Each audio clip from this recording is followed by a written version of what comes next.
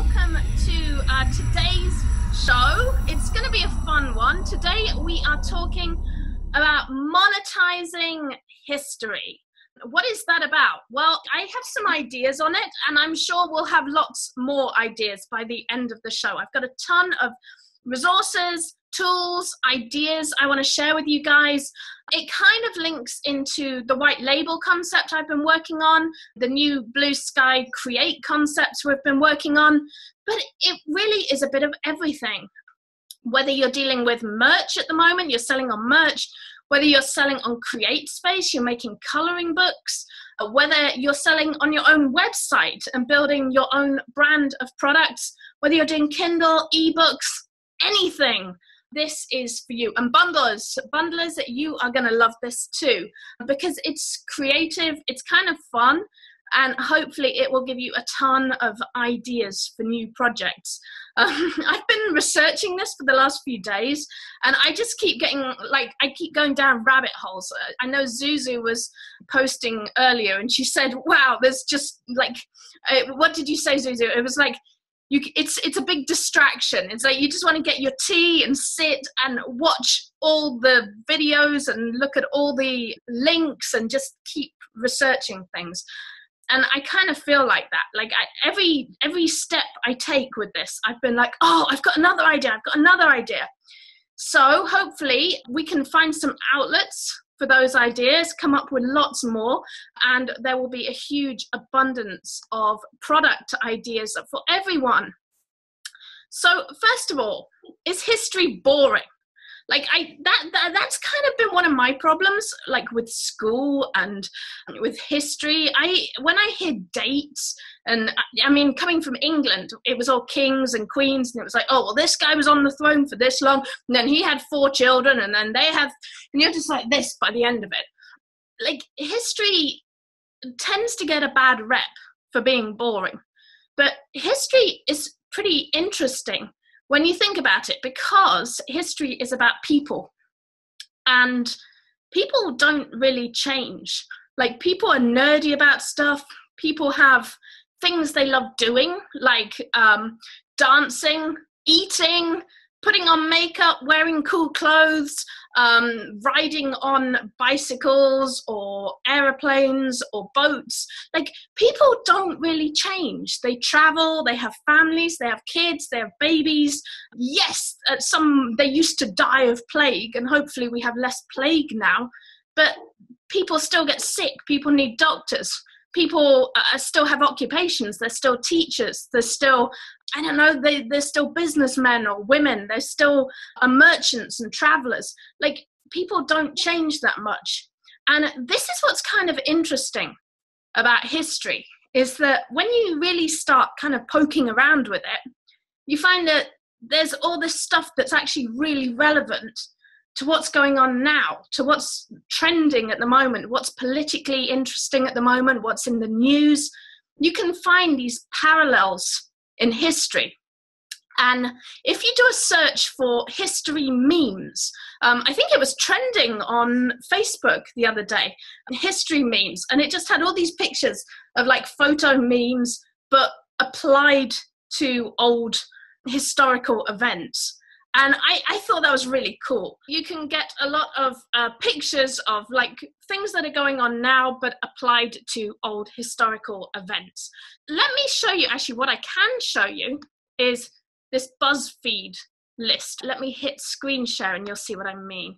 Okay, so we go to this list, and this kind of gives you an idea of where we're going with history ideas. And these are some ways that other people have monetized history this is one I, I shared. Oh, wait, there we go. These ones at the top, this is one I shared earlier in the event for this group.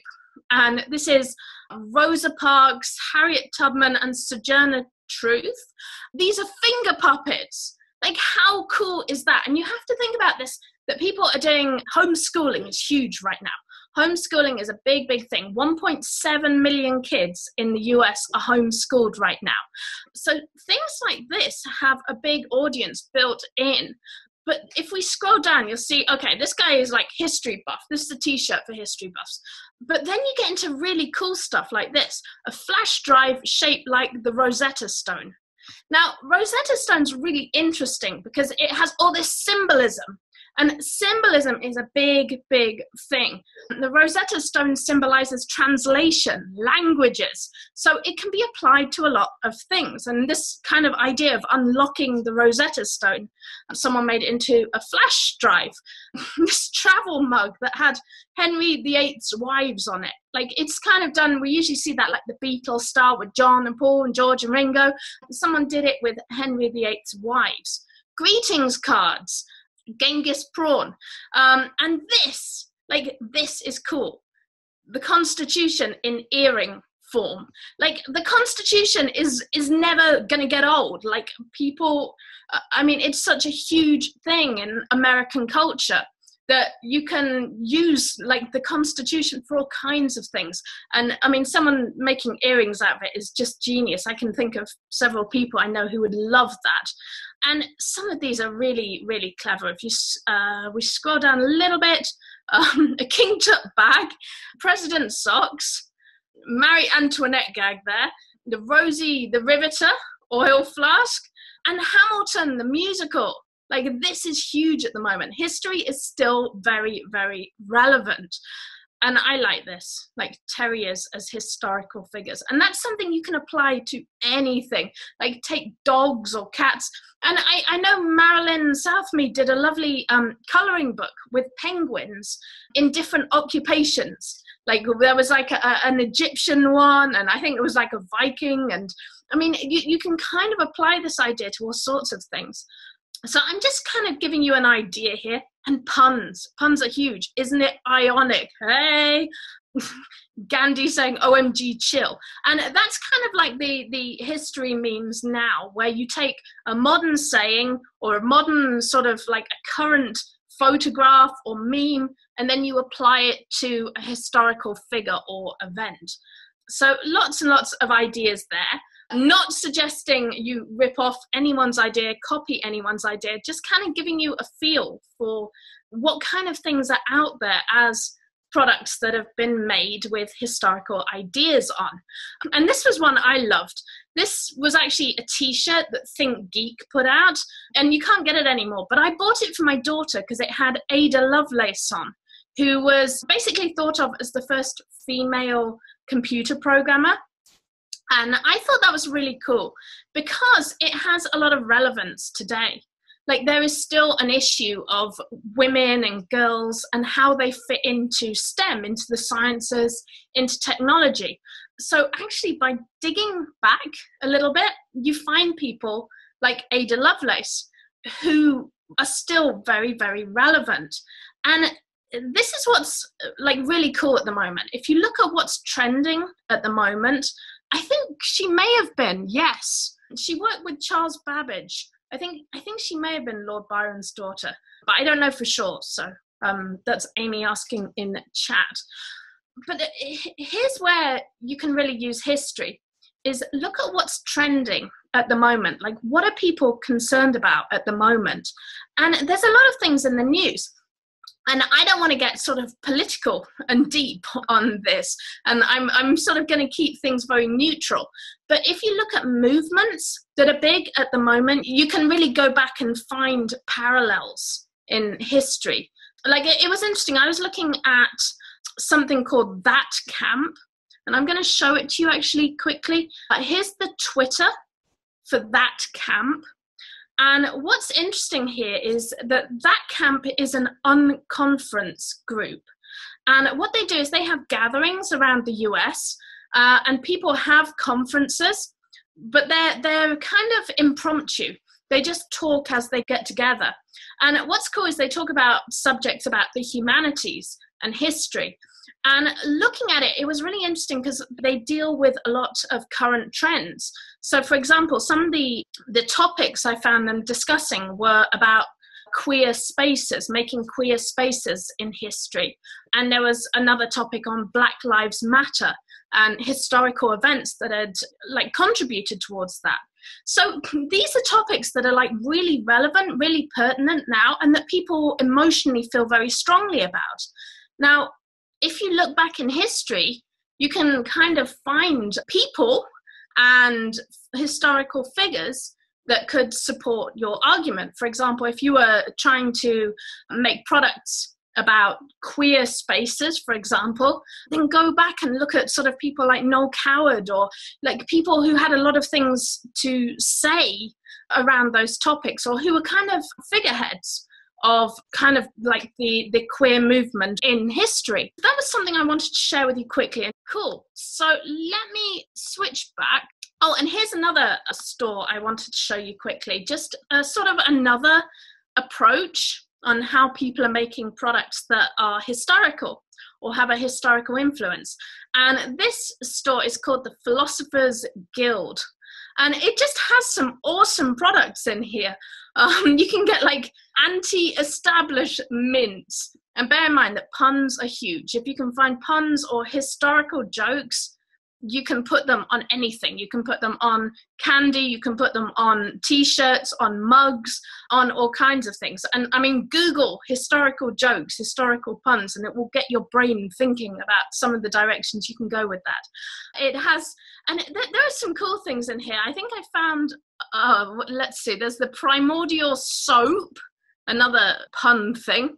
And I love these little finger puppets of like Michael Foucault and if I look there, it has it had a whole section on mustaches in here somewhere. Let me see if I can find the mustaches. Was it under most obscure? Everything's hiding from me today. Oh, there we go. Here we go. Mustaches. Okay, so they have like a Salvador Dali watch where his mustache spins around and around. They have all these products just about mustaches. And you know, this really got me thinking because I feel this whole beard and mustaches hipster vibe that's around at the moment.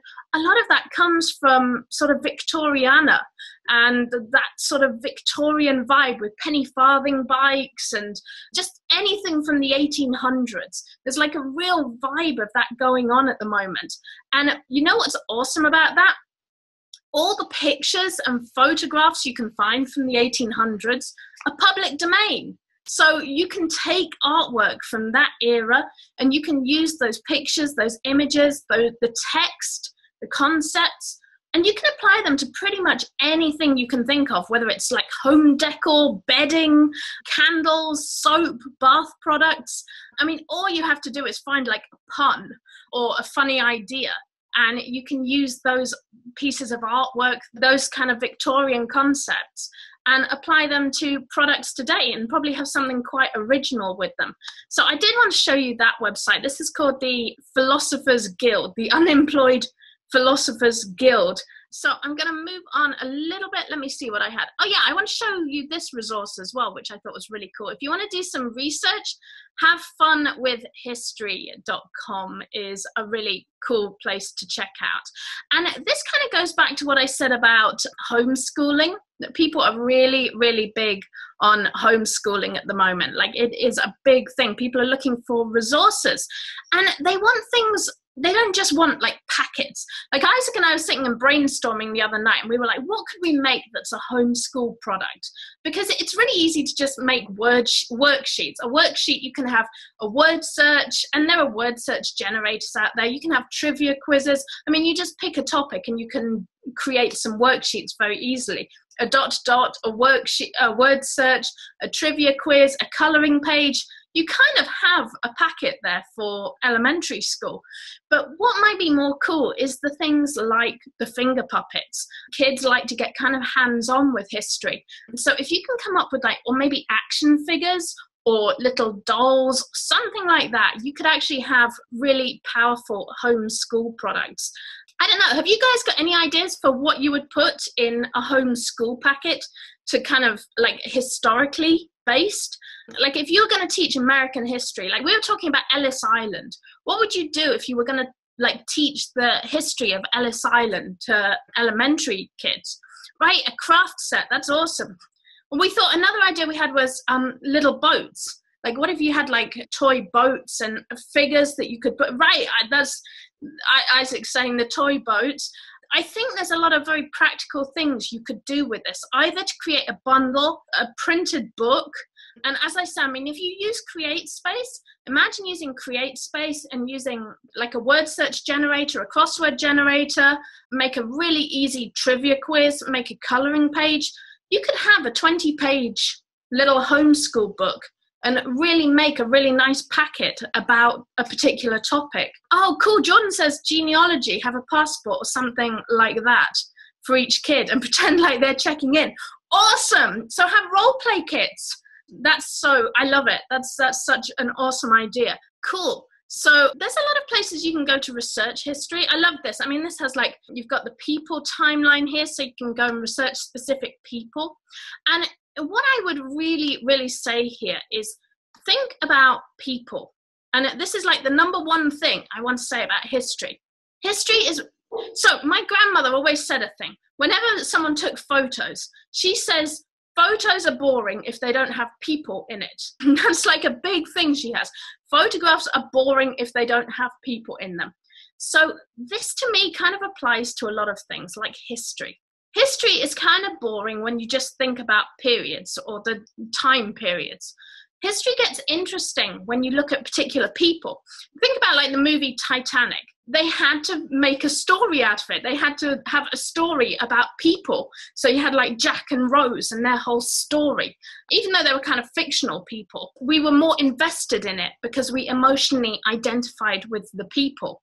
And this is a huge huge thing with history history is kind of all about heroes and villains. And what's kind of funny about this is that someone who may be a hero to some people may be considered a villain to others. Like, I, I, don't know, you take Christopher Columbus. To some people, many people think he's a big hero. Other people, not so happy about him for political reasons or other reasons. So you can take historical figures and you can kind of identify with them in a way that makes sense to you as a modern person. I would consider using like thinking about this. What do people stand for? What do historical figures stand for? Um, and what do they represent to modern people? Like what's our relationship to modern people? And that's why i think someone like ada lovelace is like a fantastic historical figure because right now there's a big trend for gender positive toys, gender positive STEM learning, science, technology, education. It's that is a huge trend right now. So presenting girls with someone they can really look up to, or putting like her image on clothes, or maybe on a computer case, or something relevant like that, huge, huge potential there. And I, I, I kind of want to touch on something there. I, I, in the in the new course, I talk a lot about intersects. I say the way you create something is to find an intersect. Like, how is this rele- How is one concept relevant to another concept? So, for example, if I was going to private label or white label makeup uh, or a cosmetic range, what I would be doing is looking in history for something that was considered beautiful and there are several directions I could go with that. I mean, I could go to like the flapper era, the 1920s, and sort of red lipstick and the white skin and the the, the big eye, the sort of really um, tight plucked eyebrows. And I could go to that era and I could find artwork, I could find images, I could have flapper makeup. I don't know. What I'd probably do again, thinking about people, is I would probably come up with like a fictional character or maybe look for a historical figure from the early 20s and use that as my character and my brand. So I, I don't know, Daisy the Flapper. And I would have Daisy the Flapper makeup with her picture on the front and then have colors that complement that concept. Or I could go and look at sort of like ancient Egypt and do like Cleopatra. Like Cleopatra was like a figure of beauty. People think of Cleopatra and they picture a very certain, uh, specific type of beauty. And that actually might fit into, particularly, I like there, there are, she has kind of the, the, the link um, perhaps with darker skin.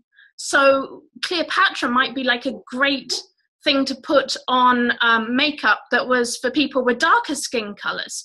So you, you can kind of look at history and find people or concepts that are relevant today because that link is still beauty or glamour. Like if you're making makeup, you're, you're looking for examples of beauty or glamour from times gone past. And think like here's here's what I would suggest.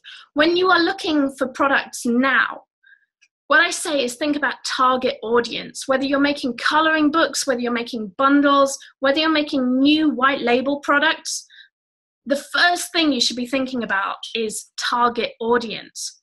But what's cool is once you have that target audience, you can go back in history, go back in time, and find things that that target audience can relate to. They may not have even heard of what you find. Like Molly's saying, the Lincoln beard brush, exactly.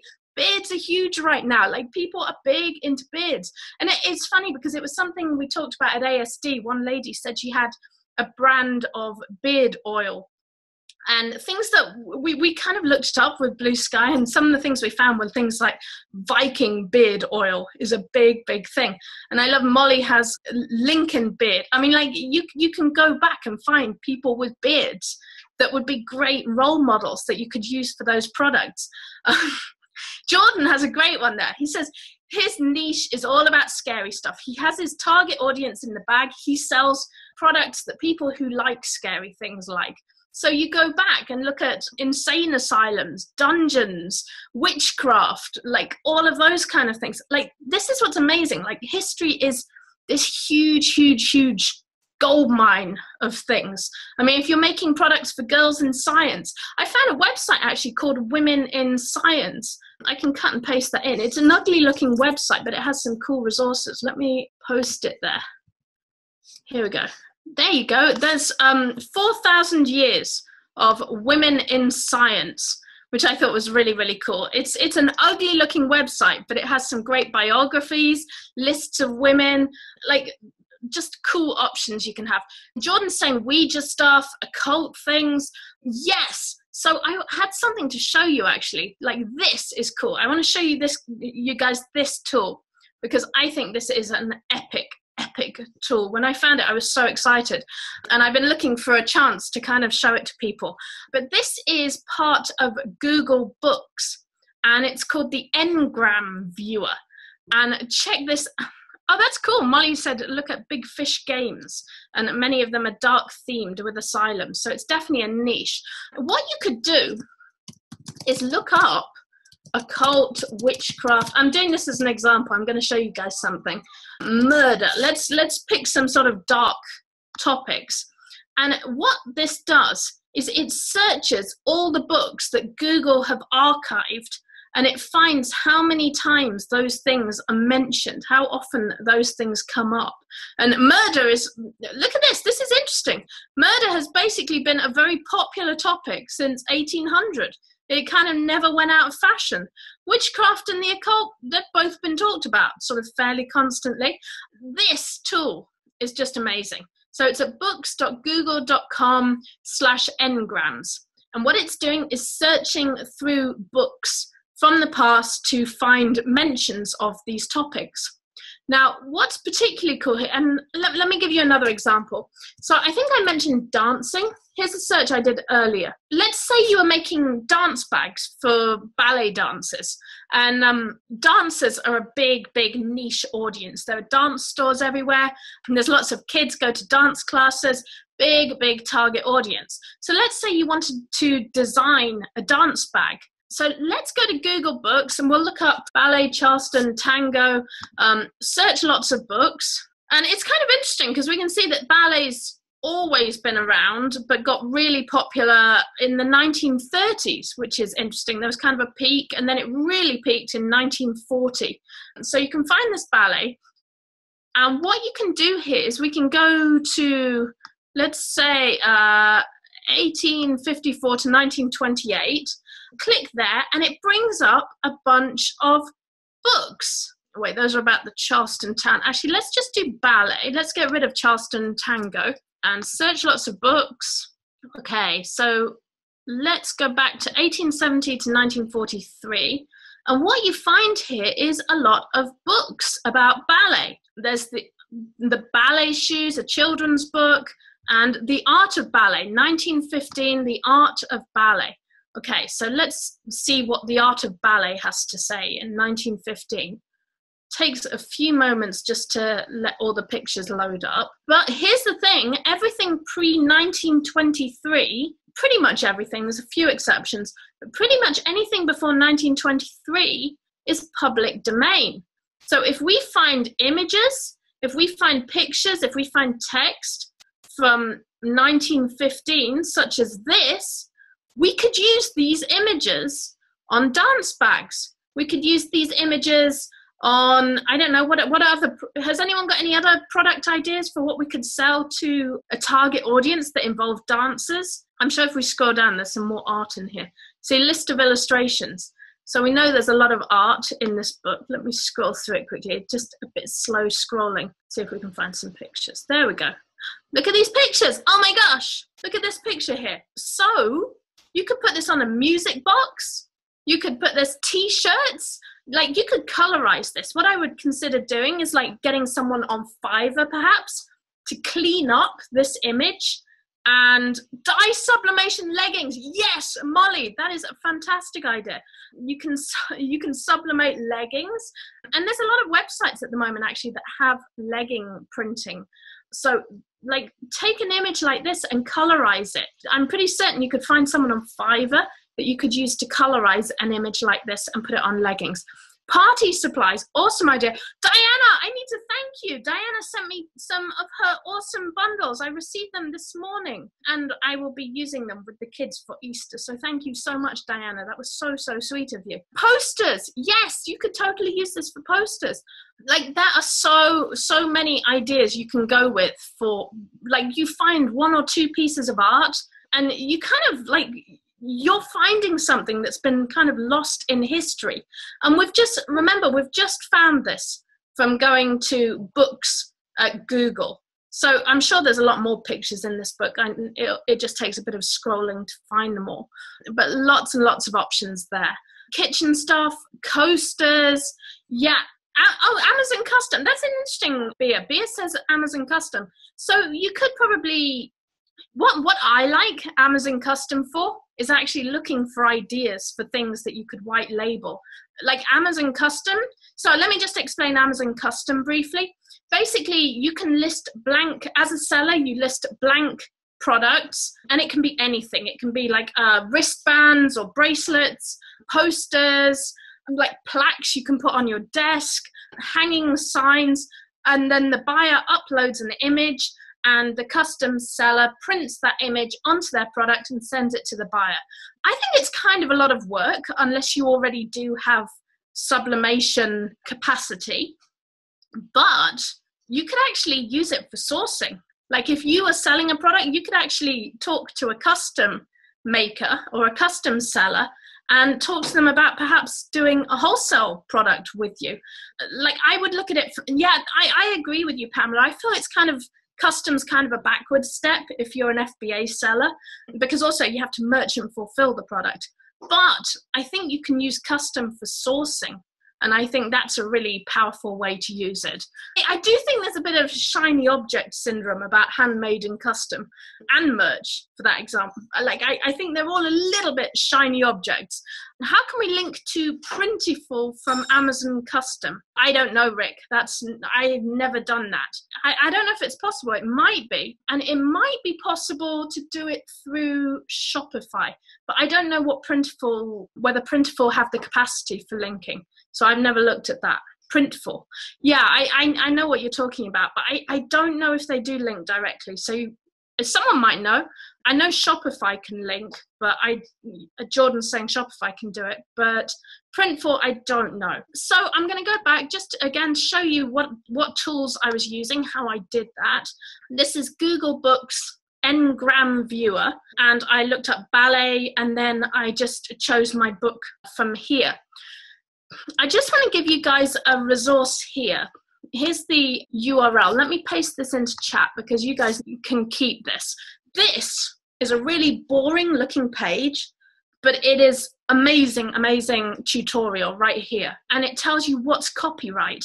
So pretty much anything before 1923 is yours to do what you want with. Images, film, text, any of those things are pretty much yours to do what you want with. After 1923, it gets tricky. Um, up to now, let me see. I think it's 1923 to 1978. Generally, if they are printed with a copyright symbol and they've been renewed, then you can't use them. But if they were printed without a copyright symbol and they, things were never copyrighted, you might be able to use them. And this, I, am not going to go deep into it here because it's it's kind of a complex subject. But if you're interested in finding information that's in the public domain, this is a great fact. Like it's only one page, but it's kind of in depth. And this is how you find it. I've posted the URL there. So you can really go deep into copyright. So basically, before 1923, you can probably use that material. Between 1923 and 1978, it gets more complicated and you have to do your homework but it's possible. The, the gist of it is you go to the library of congress you can go there online and you can look up a particular book and find out whether it's still in copyright. And this page explains how to do that. So i've given you the url so if you want to go deeper in that you can totally do that. And there's lots of tools out there for finding public domain information. Google Books is just one of them. And I'll show you guys. Oops, I just lost my screen share. Let me go back to my screen share. Okay. This, I want to show you guys this resource quickly. This is an academic source, but it has a whole bunch of historical research tools in here. And you can see like it's everything, the French Revolution to September the 11th. Like there's there's a lot of and and here's the thing with history. Like history can be really really serious and very emotional and very important and it can be kind of funny. Like if you go back far enough, it can be funny. So here's another tool just for finding ideas through history here. And I'm going to show you this one as well. And this one I love. This is Echo, which is exploring and collecting history online. Now, what I like about this one, and we can do like browse by historic period. Then this site is where I actually found the 4,000 women or 4,000 years of women in science. What I like about this one is it has very specific areas of interest. So, for example, you can find like ancient medicine and something like this, like ancient medicine, you know, I can probably search there and search medicine. We'll see if it works. Okay, there we go. National Library of Medicine exhibitions. Like you can use these in a lot of ways. If you were making band-aids, for example, or or like your own kind of I, I don't know, like a, a, tin, a first aid tin for your kitchen, that, or a cabinet that you wanted to hand. Do, do Americans have first aid cabinets? All British people, right? This was like a thing when I was a kid. All British people have a first aid cabinet, and they have like a cupboard on the wall and when I was a kid, it used to have a red cross on it, just so that you knew that if like you fell over outside and you scuffed your finger, that you could go to the first aid cabinet and you could get a band-aid stick on your finger. So if you were making something like this, or some kind of like medical themed product, or tissues, for example, a box of tissues, you could go and find like how funny would that be if you make tissues and you find like pictures of plague doctors and you put that on your tissues now and this is what i'm saying about like history can be kind of serious or it can be kind of funny and some of it's just time. Like if you go back a few years history often not funny very very serious. You go back to like the 1600s and it's all witches and plague and medieval things it's kind of funny. So you can take like that idea of like plague doctors put them on like t- tissues like kleenex and that would probably be kind of a gag gift for someone who's sick. Like a don't let the plague get you. And i mean you could go all out on that and make a bundle with it. And someone asked earlier whether i was talking about private labeling products or bundling already branded products. Kind of both. I think this is veering more towards white label but you could totally i'm i'm sure there is someone out there who will customize a box or a packet of tissues for you, and you could create like a little get well pack that's themed around 1600s and the Black Death. Because that's the kind of friend you would be. You would want to send that to your friend who's got a cold. So like you you can kind of take these funny things from history and use these in your bring out your dead. There you go. Bring out your dead first aid kit so okay let me move on okay so we did the Ngrams uh, we did uh, we were looking for history memes i think I've kind of covered most of those things. Let me stop my share and look at my notes there. Okay, so what what have we talked about? We've talked about people. That's the first thing. In history, history is all about people. And people have interests obsessions they do, they have specific occupations and these are things that apply now and they applied in history. And comparisons are a huge, huge thing. Like, I, for some reason, we're really drawn to comparisons. We're like, well, what would have happened? And Isaac talks to me. He he he loves the Flintstones. He's all about like how he what he likes about Flintstones is like, well, how would the Flintstones do a car? Okay, so they have the big stone wheels and they pedal it like this. How would someone in this era do uh, Nada says I love the Flintstones too. How would someone in this particular era deal with a modern problem? And I, I think this is where you get into the real humor with history and with historic things. It's like just comparing, like, mo- like when you take funny sentences or, or funny current trends, like I don't know, dubstep music or trap music or, or something like that, and then you apply that to like a picture of Beethoven or Mozart, you get into this kind of like you, you can find these comparisons. You're like, oh, this person was a musical genius, or this person was big into bling, or like, and and you can find these comparisons. I don't know. Can anyone think of any? I'm kind of just talking about comparisons of what people do now with what people might have done 200 years ago or 300 years ago like i don't know you could look at modern issues or modern problems and like if you want to take a political stance you could be like okay what would people in the 1800s what would people in the civil war feel about like texting at yes exactly. Thank you diana. Text texting alexander graham bell. So you have alexander graham bell and he's like looking at his texts.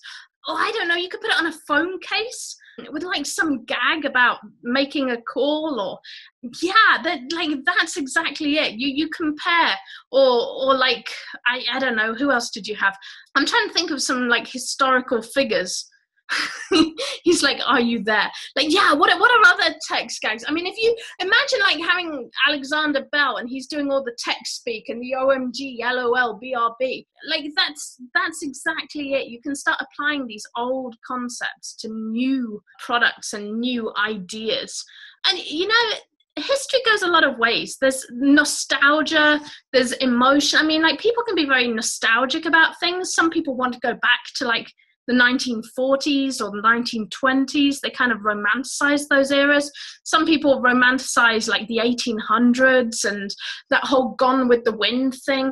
And what you do is if if you're interested in one of those time periods like look at where the intersects are with current events or current fashions and I, I, think this is kind of a challenge like what are some trends at the moment has anyone got ideas for kind of what are trending topics at the moment. Like I know like bicycles are a big thing, like hipster bicycles. So you get people like looking up penny farthings. And I mean like let's say you had um, you wanted to make a product like bicycle bags. What what accessories go with your bike? Like a pump like oh people wear those um like vests for bicycling.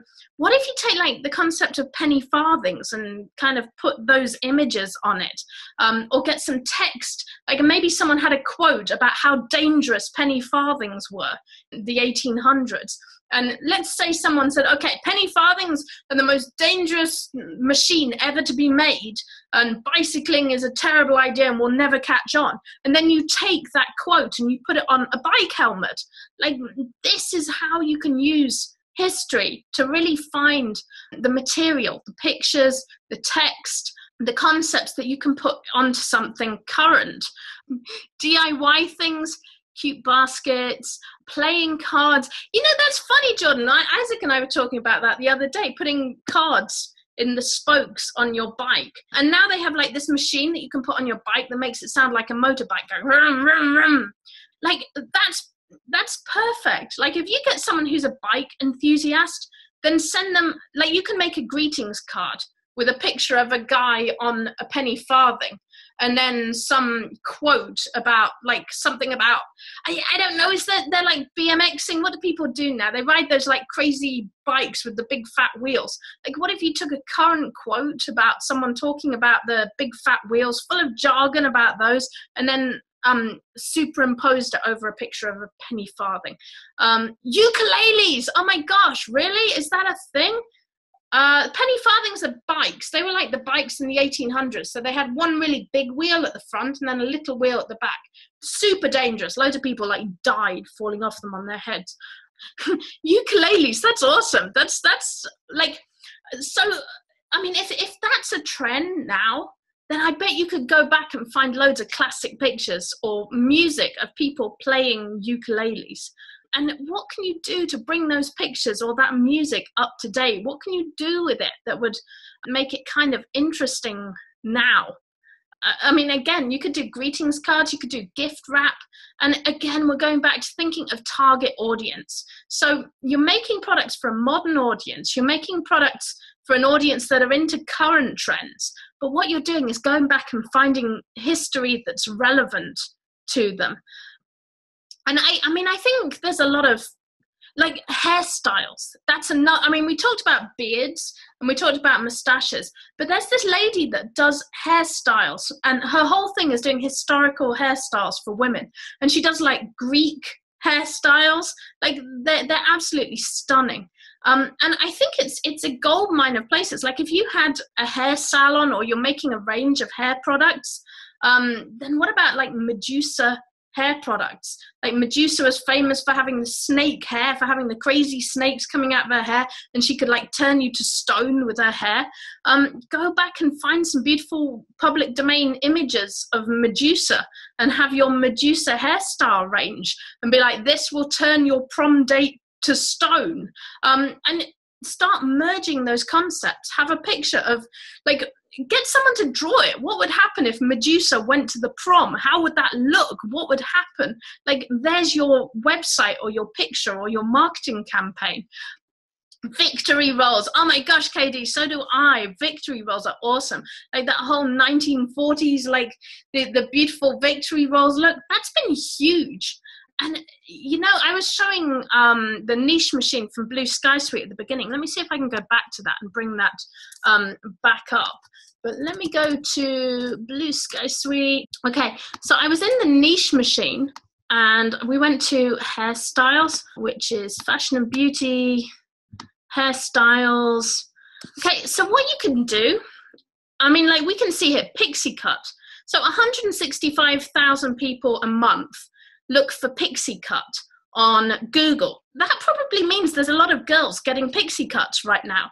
I could I, I think you could just put a picture of a really cute girl with a pixie cut on a pencil case, on a lunchbox, on a, a makeup bag, and put pixie cut and use that keyword pixie cut, and you would probably have a product that could sell. Mohawk. I mean, mohawks are always popular. 135,000 people looking for mohawks. Another 135,000 looking for pompadour. Like these are things you can find public domain images, artwork, how to's. You could find a guide how to do a pompadour hairstyle, how to do the perfect pixie cut. And if we go back in history, I mean, you could do how to get victory rolls. And I bet you there are some great old books, guides, information on how to do victory rolls, or pictures or diagrams that you could bring and put and you could put into a, a modern product. How to do the comb over. I love it molly.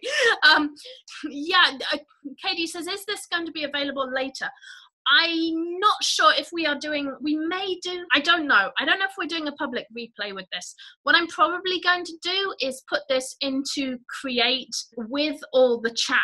So my problem is if I put this on YouTube, I can't include the chat but if I put it into Create, we can put the chat in it and we can also uh, put all the resources. And I've got a whole list of resources of where you can find public domain information, where you can find more discussions about history, and so on.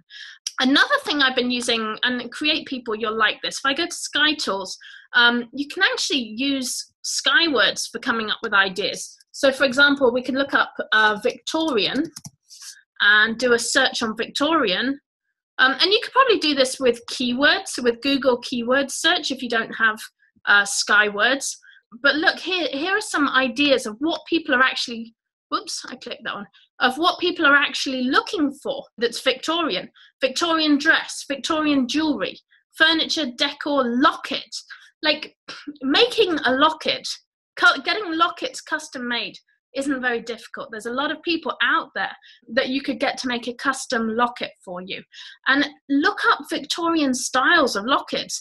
You could, if you're not feeling creative, you could probably copy one from an old book, from an 1800s book or an 1800s image, and use that to make a new Victorian locket. We can see here a lot of people are searching for this. The darker the color, the more people are searching for this. Victorian hat, Victorian costume. Funny story, when I was eight years old, my grandmother dressed me up as a Victorian because there's like there's an old market in Guernsey, which is where I'm from, and they had a Victorian market. Yes, Laurie, we yes, you can find many of them in the Blue Sky directory. I think there's 50 suppliers in the Blue Sky directory at the moment, and I'm going to be adding more to that really soon. Victorian tear catchers. Jordan says, one thing I've always wanted to do is Victorian tear catchers. That sounds awesome. I don't know what that is. Some other ideas, I'm sure he's going to explain in a minute. Um, Victorian underwear, Victorian couch, Victorian jacket, fabric, Victorian fabric. Again, fabric is another thing to get made very, very easily. And guys, you don't have to go to China to get stuff made. You can go, just Google wholesale custom uh, fabric. Absolutely, Laurie, it would totally help. Uh, Laurie's asking, would it help to know what we wanted to make so we could add suppliers? Yes, if you if you tell me what products you're interested in making, I will help you find suppliers and we can add them to the directory. That's definitely something I want to do. So John says Victorian tear catchers were when someone you loved died, you would catch your tears in a glass vial. And a year after they passed, oh my gosh, this is so morbid, you go back to their grave and pour your tears over the grave to symbolize the love you have for them. Oh my gosh, and you have a year of mourning. That's wow, I'm I'm so sad. I can't that's great, Jordan. I love it. Victorian tear, tear catchers. Wow, they were so morbid. Molly's saying, oh my gosh, those Victorians. So, I mean, Victorian, we can see this is a huge thing. Look how many people are searching for Victorian things. I mean, you could do something else. You can do like Civil War. Like, okay, Civil War sword, uh, Civil War Marvel's big at the moment. Civil War costume, fabric again. Like, custom fabric is a big, big thing like there are so many ideas for historical like things that people are interested in. Another source of things and i, I, want to talk about something quickly here. Another awesome source is what are people watching on tv at the moment? Like outlander is huge right now. Outlander is like it's i, I don't know i haven't watched it. It's all scottish. I know it's scottish um, and so i'm guessing it's people in kilts and saying okay and like stabbing people with swords and getting in fights and chip shops and uh, that's I, I went into my like Scottish people. I, I love Scottish people. They're awesome. I, am I'm, I'm English, kind of. Outlander. Okay, Sheila just mentioned Outlander. it's I I'm so lost. I Karen, I didn't mean it. I love Scottish people. I went to Edinburgh. And it's a wonderful place. Oh my gosh, I've just offended everyone that's Scottish now. I love you, Scottish people. I was joking. You don't all get in fights in chip shops. I love you, really. Um, okay. okay. Um, Scott. So Outlander, right, is all about the old Scottish thing. Before that, there was Braveheart. Okay, so like this isn't a new thing. People getting into like Scottish history. You had out like Outlander and Braveheart, and oh my gosh, I love you guys. I was joking. Oh, you're all wonderful. I love you. I love Laurie. I love Irish people. I love Scottish people. I love you all very much. It was a joke. I'm sorry. okay, so all right, so we go back. Oh my gosh, you're kidding. Okay, I'm, we're all friends. We all group hug, love you. Highlander, yes, that was another one. So you had Braveheart and you had Highlander. And here's the thing: like you don't need to tread on any um, infringements. You don't need to tread on any intellectual property infringements because like these are historical concepts and you can go back and use any kind of scottish thing you like. And the fact that outlander is so popular brings that whole celtic scottish gaelic whatever thing. Like it's huge right now. You can have people are having like scottish weddings celtic weddings kilts. You could put anything on a kilt. You could put images on a kilt and think about that intersect is there anything you could put on a kilt? Let, actually, let me um, run a keyword search on kilt because I think that might be interesting. Um, and while that's running, I'll keep talking. But you could put a, a lot of different things. Let me, okay, Rosa's asking, Katharyne, if you have an idea for a private or a white label, do you go on Google or Amazon and check to see if there's interest before you produce your product? That's a really, really good question. Um, okay, if you have an idea for a product, do you research to see whether there's interest before you produce your product? Yeah, I think it's always a good idea. Personally, I use Skywords, but I also use Google Keyword Planner. And I love that tool. I use it all the time. Google Keyword Planner is the most accurate search volume you can get. Bear this in mind. There are keyword there's keyword software out there claims to have search volume from Amazon. It does not. The most accurate place to get keyword data is from Google Keyword Planner. So I use Skywords and I use Google Keyword Planner to check how many searches there are for a particular product or a particular keyword. And I think that's great research to do that. However, oh, and actually, I, I also look at Amazon to see um, how similar products are doing um, just to give me an idea. Although that can be a bit misleading because people set up bad listings and they don't have good keywords. So often it will look like something's not selling on Amazon, but it's not because it's a bad product, it's because the seller has done a bad um, job of putting keywords in there. So I will look at those things to get an idea of how a product will do. But ultimately, if I think I have a really good idea for a product and I really believe in it and I'm going to make it, um, and it's something that emotionally appeals to me, I have a pretty good feeling that other people will like that product too. And if it's unique, then like there may be no history for it because no one else has made that product or come up with that idea yet. Um, and I, I think that's a confidence issue. A lot of people are like, well, I'm, I'm not going to make a new product because no one else has done it, so it's probably a bad idea. No, don't think that way. If you have a unique idea for a product, awesome, awesome. The world needs unique product ideas. If you have a unique product idea, try it. If you can try it without spending a fortune on it and betting the farm on it, try it. Please, please try it. Because what you can do is you can use um, Facebook, you can use all kinds of social media, you can use Pinterest, and if there isn't a trend already, you can create a trend. You can make a Facebook page for it. You can share it with your friends. You can share it on Pinterest. Um, you can kind of push these things and create a trend. So don't be afraid of coming up with something new or trying something new.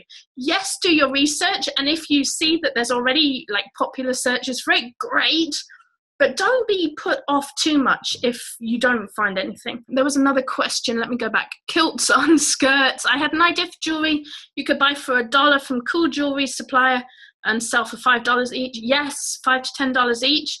Um, AliExpress. AliExpress has a lot of things. I love that, Rick. Rick says, "Be the trend." Absolutely. AliExpress has a lot of stuff for cheap jewelry. Yeah, I mean, if you're going to go the overseas route, if you if you're really interested in the overseas thing and, and buying from Alibaba, test it with AliExpress first. You can order in small quantities from AliExpress. Definitely a good idea to test things out first and really know what you're going, really know what you're doing before you go deep. I've seen too many people lose money going big on Alibaba. So um, I'm kind of focused on US suppliers but definitely, if you're going to go overseas, look at AliExpress because you can get really cheap products from there first. And also be very careful of the quality, be very careful of the safety. Like, you don't want to get things that little children can choke on or that's made of lead or anything like that. Um, I'm just going to share this with you really quickly because we talked about kilts and I just did a keyword search for kilt. Um, and I can show you Blue Sky Suite came up with a few things. So kilt belt, Oh my gosh, this is really small. I think my um, I need to make my screen a bit bigger so I can read it. Um, oh, I need my eyes tested. Um, a kilt pin. This is kind of cool. So kilt pins. Um, that's one of the most searched for things. Kilt bucket, buckle, kilt pattern. Um, I don't know what a kilt lifter is. That just scares me. Highland dancing kilt, kilt extender. So what I would think here is things like a kilt pin and a kilt belt this is your opportunity for an intersect. This is where you can say, okay, what can I put on my kilt? And someone said, TARDIS. Like, that's such a fantastic idea. I mean, like, you kind of have a link there with the whole like geeks love and i'd say geeks in a very loving way because i uh, i kind of am a little bit of a geek but like there's this big crossover between people who like kilts people who like doctor who you have the peter capaldi being scottish link like that's kind of a thing. So you could have like doctor who kilt pins. I'm not recommending that because doctor who is uh, intellectual property so you can't use that. But i think you could probably come up with some sort of time traveling concept or some kind of generic version of that. I'm going to stop my screen share come back here. Yeah oh and david tennant was scottish as well although he had an english accent in as the doctor. So while the actor was scottish character not so much. Kilt socks. So you can put pictures of kilts on socks. So lots and lots of ideas there. I was going to just say something else and i've forgotten what it was i was going to say.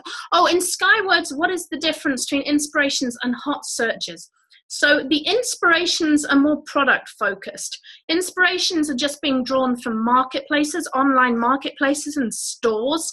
The hot searches are coming from a variety of search engines and marketplaces. So it's um, the the uh, inspirations is really good for coming up with product ideas the hot searches is good for coming up with keywords and trends.